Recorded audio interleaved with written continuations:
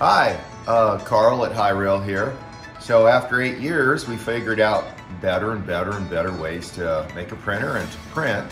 So one of the recent things in this last year that has had a huge influence on the quality of our larger prints is using removable build plates that are coated with either GeckoTek or PEI.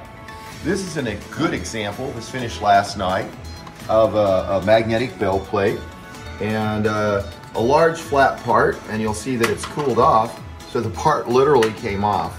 I mean it was just laying here uh, because it cooled off but you can see the texture and how nice that looks. So, and it's very, very flat. That's something you can see. So to get it flat like this, we printed at 115 degrees C on the print bed, and that keeps it relaxed on the surface while it's printing. Um, if we were impatient, we could have just taken this and flexed it.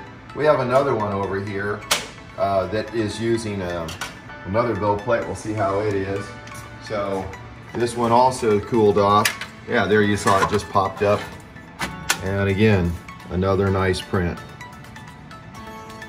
So just a small amount of deburring and it's ready to pop right on. We love this build plate. It leaves a nice texture. Uh, this is PEI. And we have a GeckoTek over here, which I'm gonna show you next. So the GeckoTek plate, see if it's, yeah, see it's still attached. And actually this just must have finished because it's still hot.